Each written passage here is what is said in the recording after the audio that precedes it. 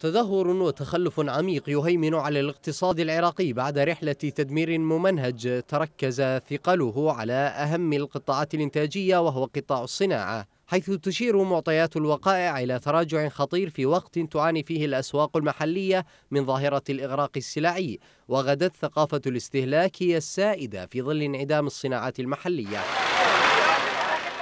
إحصائية لوزارة التخطيط في العام 2021 كشفت أن نسبة العاطلين عن العمل بلغت 14% للأشخاص النشطين اقتصاديا وهي الأعلى منذ عقود فيما تحدثت منظمات دولية عن ضعف هذا العدد. وبحسب اتحاد الصناعات العراقية فإن معظم المصانع في العراق البالغ عددها 57 ألف متوقفة. ورغم أن المبالغ المرصودة لتأهيل الشركات العامة بلغت أكثر من 100 مليار دولار ومعظمها من الدول المانحة إلا أن الحكومات المتعاقبة أخفقت في إعداد دراسات جودة اقتصادية فعالة للشركات المحلية. خبراء اقتصاديون يعزون التدهور الاقتصادي إلى عدة أسباب من جملتها قدم خطوط الإنتاج واعتماد الأساليب التقليدية في الإنتاج والتسويق إضافة إلى أن مشكلة الكهرباء تعتبر سببا أساسيا في إيقاف 70% من المصانع.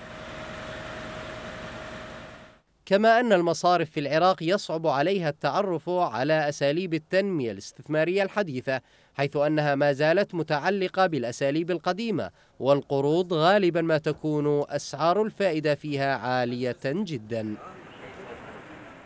وتزيد مشكلة الاقتصاد تدهورا قضية تبييض الأموال من خلال الصناعة بنسبة 50% حيث تباع السلع العراقية بأسعار رخيصة في الأسواق بالمقارنة مع البضائع الأخرى.